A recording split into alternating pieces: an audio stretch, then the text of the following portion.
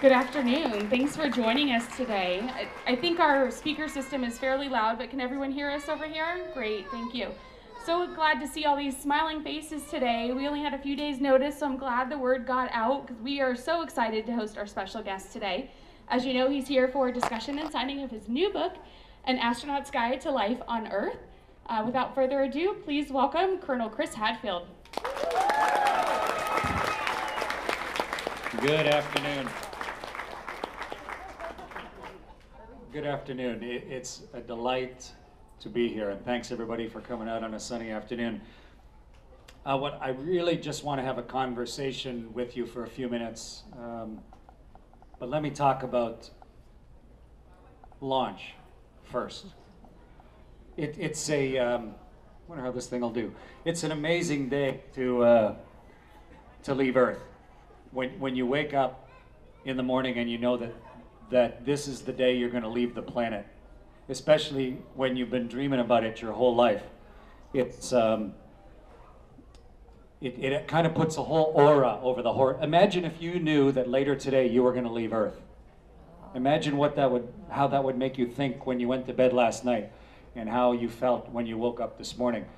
And it, it puts a kind of a, a definite separate feeling to the whole day where you become sort of hyper aware of all of the things that are happening as you get dressed and and then um, riding out to the launch pad eh, where, where you're sitting with people that you've been training with for years and you're, you're driving towards this vehicle that is going to take you to a place that is right on the edge of impossible. And it's sitting out there and this isn't a, um, an airport or a seaport it's sitting there at a spaceport this is where humans leave the earth and come back again. And, and it, uh, in Florida, it sits up, if you've been there, it sits up high on sort of a big raised platform above the floodplain. So it almost looks religious, like some big obelisk. Uh, and you're almost always driving out early in the day, so it's lit up by big xenon lights. And as we were driving out, I was thinking this must have been how it felt for Ramses when he was looking at some of the great big monuments that the Egyptians built thousands of years ago. And then you, ride an elevator up and you're wearing your big orange pressure suit and you feel, uh, you know, like this is a big day in your life. And then you have to crawl into the space shuttle, which it's funny, you go from being this triumphant driving out to this huge monument astronaut, and now there's this hole about this big around. It's like crawling into somebody's tree fort, where you get down on your hands and knees and you crawl down through some holes, and the vehicle is sitting like that. So what should be the floor is the wall, and, and the back window is the is the new floor. So you got to climb up into your chair and get yourself, you know, sort of wedged in. And then there's one astronaut in there whose job it is is to, is to strap you in. And uh, my, my wife wrote me a note, and so he passed me a nice note for my wife, this other astronaut. And then my wife had given him a kiss and said, Here, give my husband this kiss. so, so the astronaut gave me a manly kiss on the forehead. And, and, then, um, and then once everyone's strapped in, then they uh, go through and they take all the pads out, close the hatch, and start doing pressure checks in the vehicle and you're gonna you're gonna go maybe today. And you've been denying in your mind that you could actually leave Earth today because you can never let it be real. It, it would drive you crazy if you thought that that everything in your life was wrapped up in going to space on that day. You you put your emotions into into check, but as every minute goes by, you start to believe more and more that this might actually happen today. And this little voice on your shoulder is going, this is exciting, this is exciting. Part of you is going, be calm, it's probably not actually going to happen today. But with each ticking minute, you, that voice gets louder and louder. When you're about uh, 30 seconds from launch, the vehicle is completely alive underneath you. It's like you're it's like you're on top of a big dragon that, it, that is stirring and coming to life. And then six seconds before launch, uh, the engines start to light. And the, the space shuttle was strapped to a great big gas tank, and the engines didn't push right up through the middle. So the whole, as the engine started to light, it would bend the whole thing. You feel the whole vehicle get torqued by the, by the force pouring out the back, and you get swayed forward, and then reach like a elastic limit of the space shuttle, like a big tuning fork, until it creaked to a stop and then hit back vertical. Took about six seconds. Call it the twang. And as it hit vertical, coming back again, then the two solid rockets, rockets would light. And uh, and you know for sure when you have seven million pounds of thrust that you are going somewhere today. Uh, and uh, you go, it's hugely violent. It's, it's the vibration, because it's a tank and a shuttle and two solid rockets, it's a bunch of stuff all bolted together, so it shakes a lot. It's not one solid piece. So high vibration, enormous force, like someone has their foot in the small of their, your back and they're just pushing you harder and harder and harder as you're, uh, as you're getting accelerated straight up. And in 45 seconds, you're going through the speed of sound, straight up, accelerating. You know, Chuck Yeager's big accomplishment, and you're going straight through it on the way up. And in 70 seconds, you're higher and faster than the Concorde ever went. Two minutes, the solid rockets are empty, they explode off and in a big flash and fall down into the ocean to get used again. And then another six minutes and uh, 40 seconds of just like, like sitting in a dragster with your foot to the floor, just going faster and faster and faster uh, until at the end of it, you are going uh, Mach 25, 25 times the speed of sound. You're going 17 and a half thousand miles an hour, five miles a second from LA to Boston in 10 minutes. You're going that fast after nine minutes and you're getting squished and pummeled in your chair, and then all of a sudden, instantly, the engine shut off and you're weightless. Just like that. I really like launches. They're, they're a lot of fun. You, I, I got to do it three times, and that's how you get to. That's about it's about how long it took. I've been here about eight minutes. That's how long it takes to get to space. It's a lot of fun. Um, I got all sorts of stuff I could talk about, but do anybody have any questions? I'll, uh, I'll try and answer questions. Yes, young man there. Say it real loud. What? The question is, did I leave my guitar in space? Uh, the short answer is yes. On my, I flew in space three times. On my first flight, I had a guitar made up in Eugene, Oregon and it was custom made to take up to the early Russian space station Mir. And uh, I took it up there and gave it as a gift to the crew of Mir, and it stayed up in orbit for about four years. So I think about 20,000 times around the world. And, uh, and then on the last shuttle flight to Mir, they brought it back, and now it's in an Air and Space Museum. So that one stayed in space a long time. But the one that I played this year up in space and recorded all the music, and I recorded a whole CD's worth of original music up there that I wrote. I just, I've been busy since I got back and I haven't had a chance to do anything with the music yet. But um, the one that I played uh, that you've maybe seen videos of, it's still on the space station. And in fact, look, nice mustache, young lady. That looks really nice. I like it. Oh, those are cool. Um, in fact, right now, three of my friends are getting in a spaceship to come home right now. They're in their little spaceship about to come home this afternoon. One of them is Luca Parmitano, and Luca and I play together, guitar together on Earth lots. And he played that guitar up there. And there's a new guy just got up there this week named Mikhail Tyurin, who's a Russian, who's a really good guitar player. So that guitar is up there for everybody. It's the space station guitar, and it's been up there for about 70,000 orbits of the world, which is like more than Keith Richards, I think. Anybody over here have a question? Yes.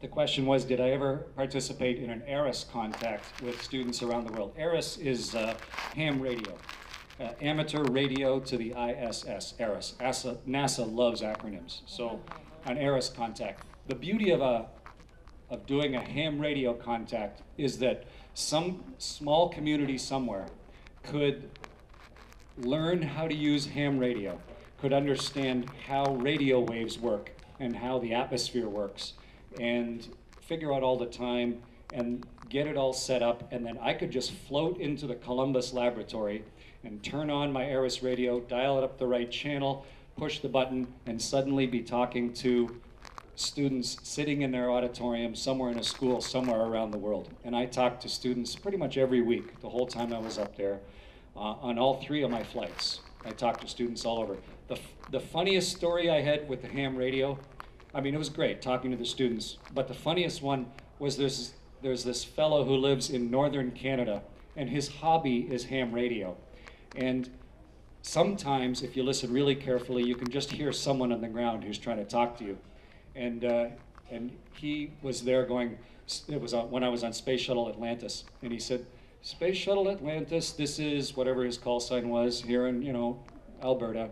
Space Shuttle Atlantis, and I came down and said, oh, hello there, Alberta, this is Space Shuttle Atlantis. He said, hello, Space Shuttle Atlantis, is that really you? His voice went up like two octaves. And he was so excited, and then the newspapers went to his little house out in the middle of nowhere, and he, he was like in all the media. And it was back in 1995 when the, the last time the government here was in furlough.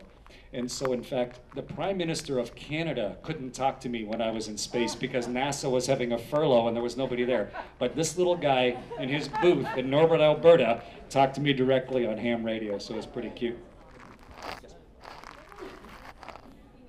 Say again. What was the most interesting experiment that you did on, on What was the most interesting experiment that I did on the space station? Um, there's an experiment up there called microflow. And you can actually take now take a blood sample, and there's a it's a box about as big as a toaster, and you can put a blood sample into it, and it goes through a fiber optic tube and in front of a little laser detector, and we can do blood analysis on our own blood in about 10 minutes on board the space station. And normally, I mean, you have to go to a hospital and you have to have centrifuges and all the testing and all the equipment. And one of the real beauties of spaceflight is that it brings people together that wouldn't normally talk to each other, researchers and scientists and, and um, engineers. And we need equipment like that on the space station, but as soon as you invent a box like that, it has huge application for all the remote communities around the world, where you can have a portable uh, blood cytometer that now they can do blood flow research. And it's now in its advanced stages of certification. It's being tested in, in uh, in Ghana, in fact, as well. So for me, that was a really nice combination of space research, of serving a purpose for us, but also really serving a good purpose for people back on Earth. Yes?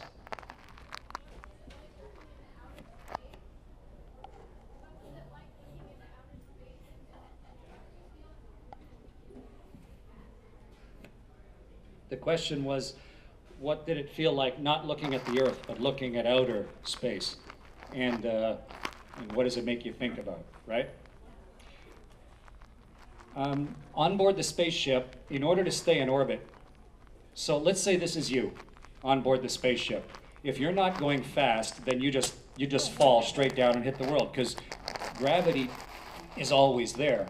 But on the spaceship, we're going fast enough that we still fall, just like this bottle of water, just a bottle of blood myself. We still fall exactly the same, but we're going fast enough. We're going at uh, five miles a second so that as you fall, the earth curves. So that's what determines how fast you have to go, is you fall at the rate that the earth curves, five miles a second. So the reason I say that is that means you go around the world in 90 minutes. So if you want to look at the universe, um, you got to think about it. There's the sun. If this is the world, you go around it in 90 minutes, so you get 45 or 50 minutes of sunlight, and then maybe 35 or 40 minutes of dark. And you're working, so your nights are really short, right? You got a 40 second or 40 minute night, and you're busy. So if you really want to look at the universe, you've got to plan ahead and you need to shut off all the lights and you need to let your eyes adjust for a while because it takes about 15 minutes to get all the rods and cones properly all sensitized and your pupil all opened up. So you don't see the rest of the universe that often. It's sort of like inside your house. You know, you hardly ever look at the stars from inside your living room.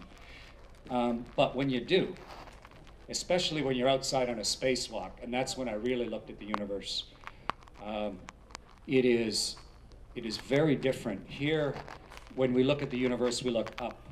And, and the blackness of the sky is above us, and we feel grounded, we feel stable. We're looking up at the universe.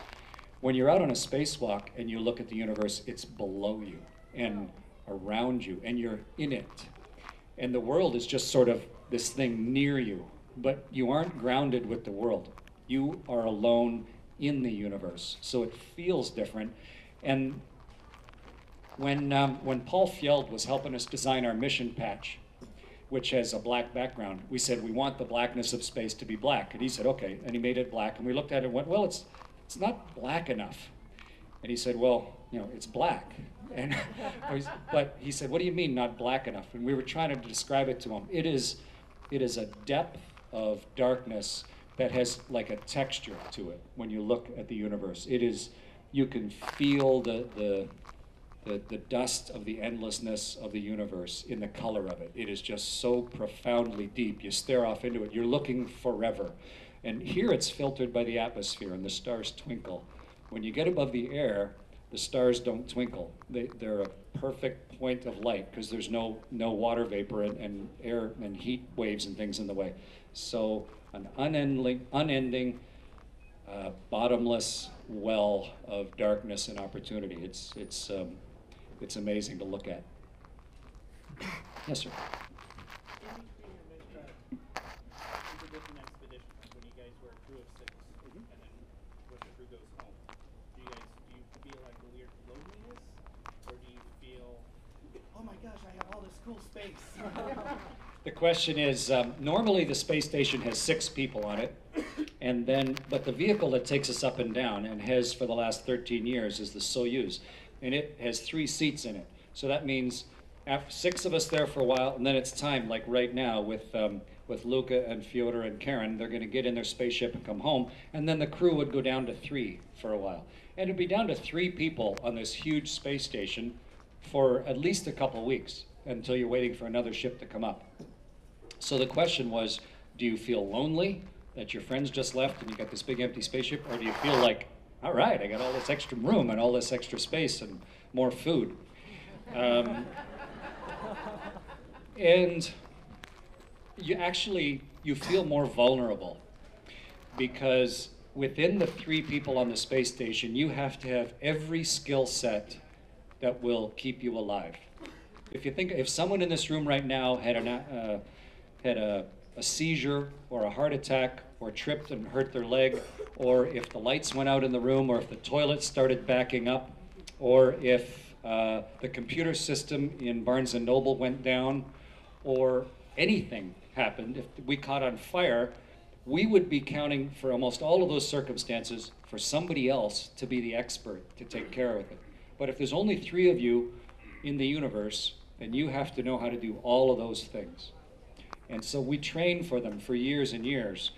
But uh, I mean, I worked in the in Hermann Hospital in Houston. I worked in the cadaver lab. I worked in the eye lab, the burn ward, the dental lab, and I and then I worked actually sewing people up and stapling people up and catheters and intubation and everything.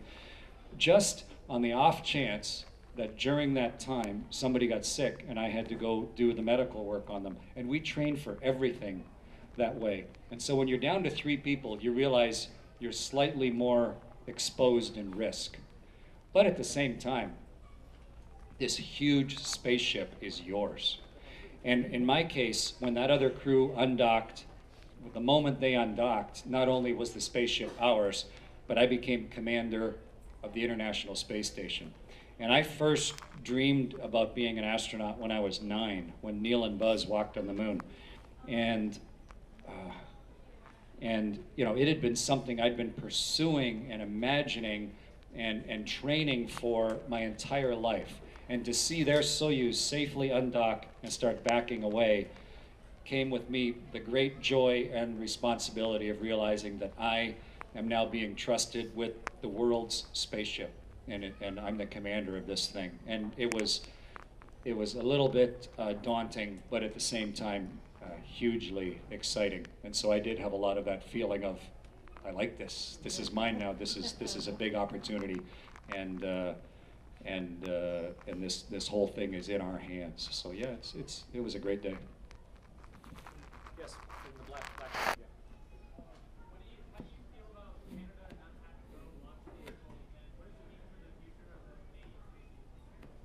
Question is what I feel about Canada not having their own launch vehicle and what does that mean for the future of the Canadian Space Agency? There's a big misperception, including in, in uh, American launch vehicles. There's a lot of people, I've had people come up to me and say, oh, it's terrible now that NASA's canceled. because the space shuttle reached the end of its life.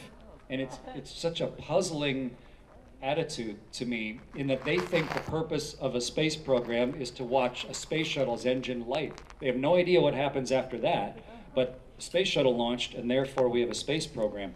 And uh, that's only one tiny little piece. And the shuttle was just one of dozens of vehicles that go to space. And uh, we have people permanently living on the space station. For the last 13 years ago, this month, we left Earth as a permanent species. 13 years ago, this month, we've been living on the space station from all those different nations since then. And there are vehicles going all over the solar system, and there's Curiosity driving around Mars discovered that there's, in every cubic foot of dirt on Mars, there's a quart of water. Mars is oceans of water in the surface. There's just so much stuff going on. And it's not all about launch. Launch is, is an important part, but there's lots of launch capability all around the world. The, the Chinese, the Indian nation just sent uh, a vehicle to Mars, and Japan has launch capability, and Europe has launch capability. It's, it's not necessary that everybody spends the huge amount of money and infrastructure to have the ability to launch. It's, it's not efficient. It'd be like if every city in the US had to have their own car company or something. You know, you, you, it doesn't make sense. You want to do some things on an interstate or an international basis. The key is what is it about this technology and this industry that you can specialize in so that it becomes worthwhile? And the name of the book is An Astronaut's Guide to Life on Earth, because what we do in space is inherently irrelevant. What matters is what does it mean to us back here on the surface? That's what matters. And so each country, each organization finds some part of it that, that is of great interest to them. And Canada, just like all the other nations, has done that. Canada has been in space since 1961. We're the third nation in space after the Soviet Union and the US, and has a long, proud history, just like all the other partners. And and has a great opportunity coming up. Just like, I mean, the replacement for the shuttle, the first flight of it is next September. Most people don't even think about that. And we, we regularly launch people up and back and have multiple vehicles going to the space station and back. And, and uh, Elon Musk is leading the charge for another vehicle that can go to station besides the Soyuz. And the Chinese are going to the moon. There's huge opportunity going on for Canada and for all the other countries.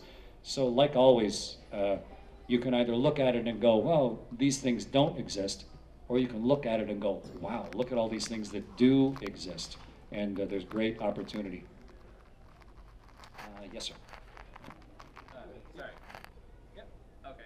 Um, Do you think the, uh, or have you noticed like the, the career path to becoming an astronaut has changed to any great degree? You went through your whole uh, career to become an astronaut, or has it stayed largely the same? The question was, has the, uh, the sort of the traditional career path to become an astronaut stayed the same or changed over the years?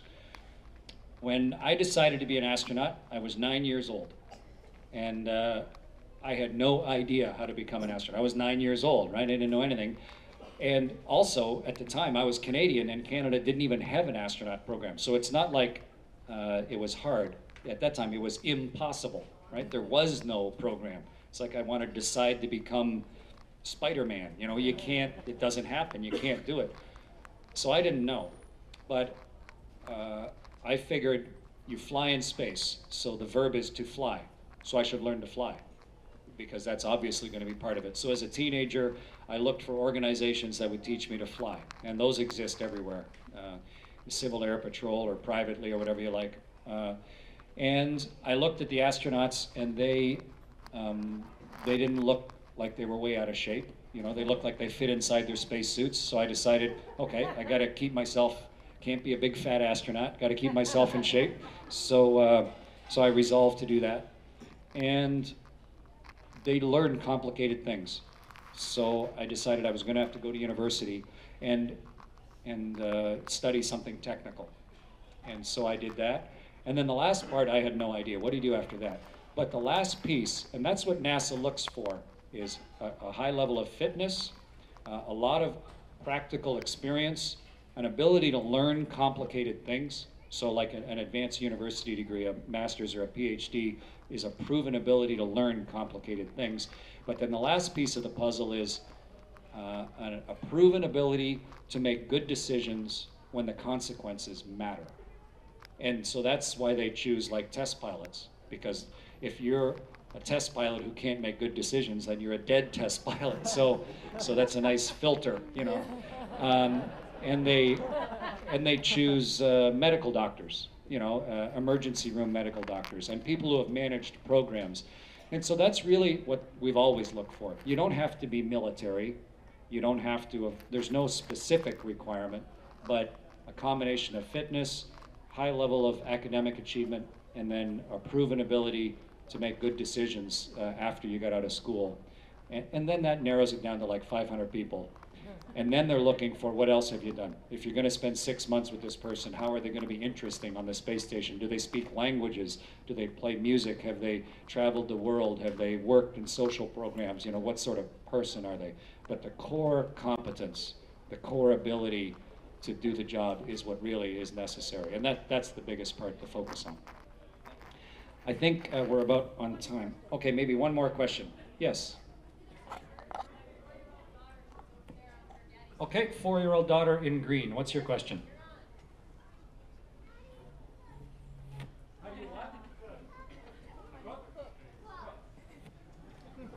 You want to come and help me answer? Come on up.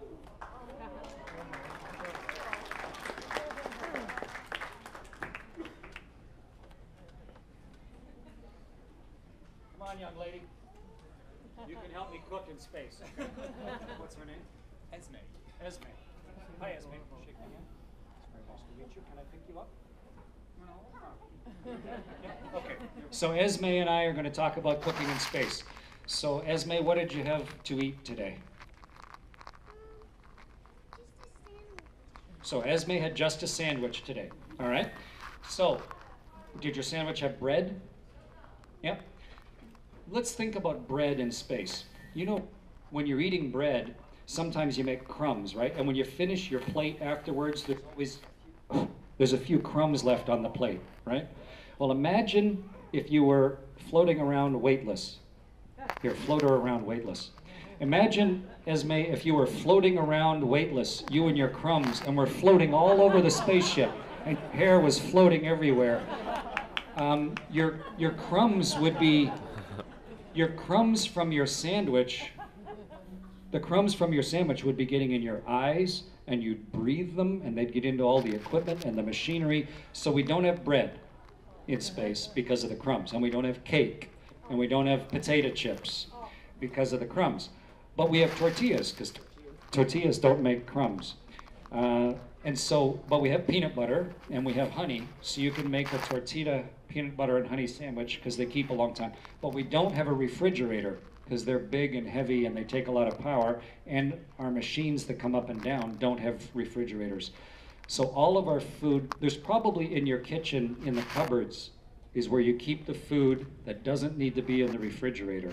And so in there, you probably have cans of soup and dried packages and dried fruit and things that'll keep long, long time. And that's the sort of food we have. We don't really cook in space, we just reheat. we just open food up and eat it. So it's sort of like being on a camping trip forever.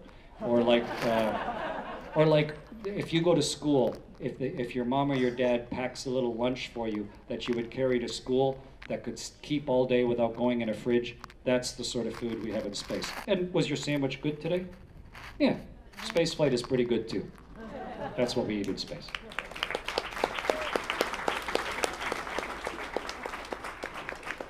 Okay, I think we're going to, um, thanks very much. I think we're going to get set up to uh, sign books. Thanks everybody for coming.